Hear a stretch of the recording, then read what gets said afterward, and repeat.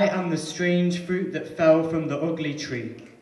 The criminal on death row that requested a live child for his final meal. I am Officer Daniel Andrew, the man who repeatedly beat 51 year old bipolar woman Marlene Pinnock to the ground. I am the barbed wired fist that sticks out against the sun, fueled by barbiturates and pumping blood. I am the suspicious police officer who shot down Ousmane Zongo for supposedly orchestrating a delicate CD theft operation in the heart of New York.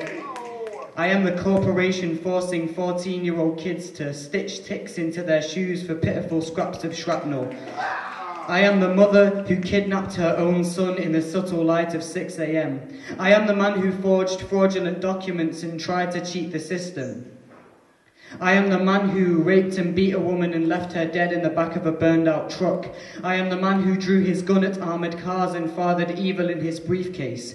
I am the policeman who shot Amadou Diallo 41 times during a street chase because I thought he'd pulled a gun on me. I am self-fulfilling prophecy.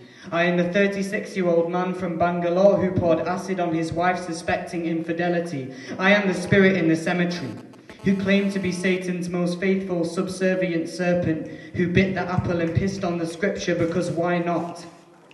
I am the falling man from the iconic picture taken on September the 11th.